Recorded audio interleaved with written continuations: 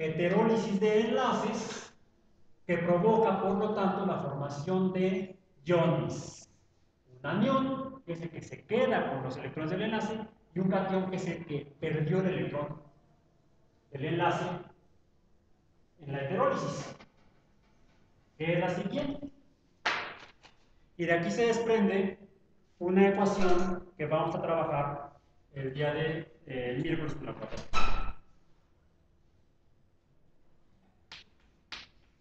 NaCl, otra vez mostramos.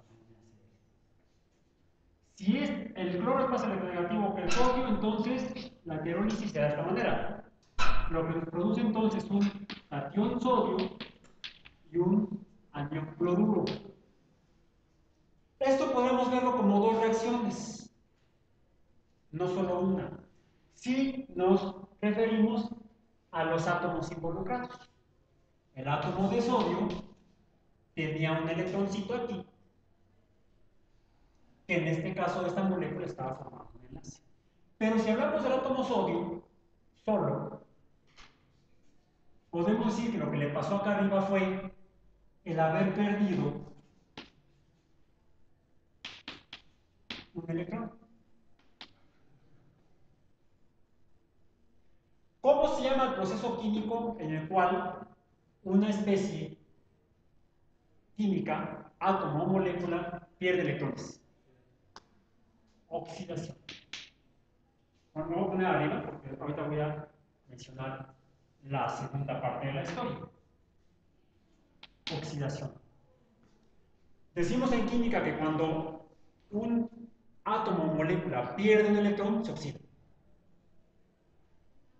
El que se oxida, pierde, no es el que se enoja.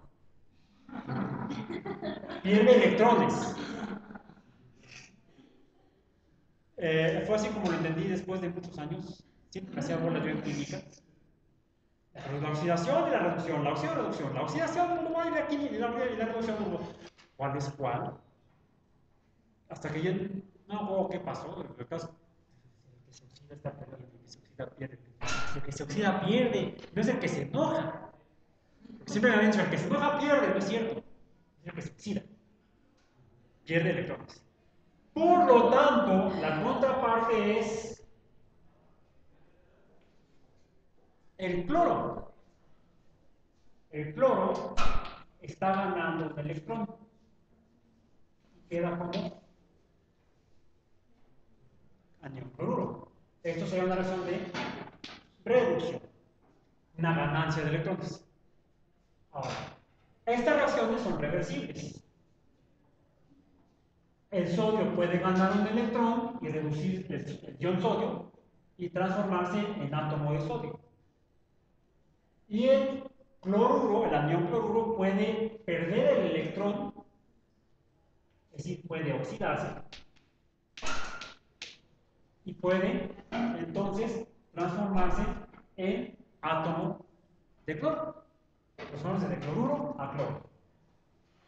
Y el sodio, si se oxida de átomo de sodio a ion sodio. Si se reduce de ion sodio a átomo de sodio. El cloro se puede reducir de cloro a anión cloruro y se puede oxidar de anión cloruro a cloro. Y como toda reacción química, estas tienen un equilibrio específico. Todavía no hemos hablado de los equilibrios, de hecho es uno de los temas siguientes, pero el qué suceda con estos, qué sea más fácil, cuál se oxida y cuál se reduce más fácilmente, depende de estos equilibrios, de la magnitud de estas flechas. E incluso entre átomos diferentes, por ejemplo, los átomos alcalinos, litio, sodio, potasio, etc. Todos estos están del lado izquierdo de la tabla periódica. Decimos que en ese variable que hemos estado utilizando, que es la electronegatividad, son poco electronegativos. Son poco afines por electrones. Ahora, dado que esa, esa afinidad, o poca, mucha o poca afinidad de electrones, depende también el que ganen o pierdan los electrones, depende entonces la facilidad para que se oxiden o se reduzcan. De aquí se, eh, podemos ver entonces que cada uno de estos átomos va a tener diferente facilidad, facilidad, posibilidad, posibilidad, que pueda sucederle poder, potencia, potencial de ionizarse, de ionización. Cada átomo, cada elemento químico, dependiendo de su estructura electrónica y atómica, de hecho, que tiene que ver la interacción entre los, protones, los protones del núcleo y los electrones de los orbitales, qué tan fuertemente nos están atrayendo, qué tan fuertemente unidos están, será que tan fácilmente pierden o ganan electrones. De eso depende, eso es lo que llamamos el potencial de ionización. ¿Qué capacidad o qué potencial tienen de transformarse en iones? Entonces, eh, revisen en sus libros de físico-química, eso se puede medir experimentalmente. Y entonces se pueden determinar, y de hecho ya están terminados, no se preocupen, no tienen por qué hacer el experimento, ya están los valores en los libros de físico-química publicados desde hace años, ahí pueden consultar los valores de potencial de ionización o de óxido reducción, dado que la ionización depende de la ganancia o pérdida de electrones, por tanto de la oxidación o de la reducción, el potencial depende de la, este, el potencial de, de ionización también es conocido en físico-química como potencial de oxidación o de reducción dependiendo de qué más fácilmente le pueda suceder a un Ya sea que fácilmente se oxide, como es en el caso de los metales, o que fácilmente se reduzca, como es en el caso de los no metales.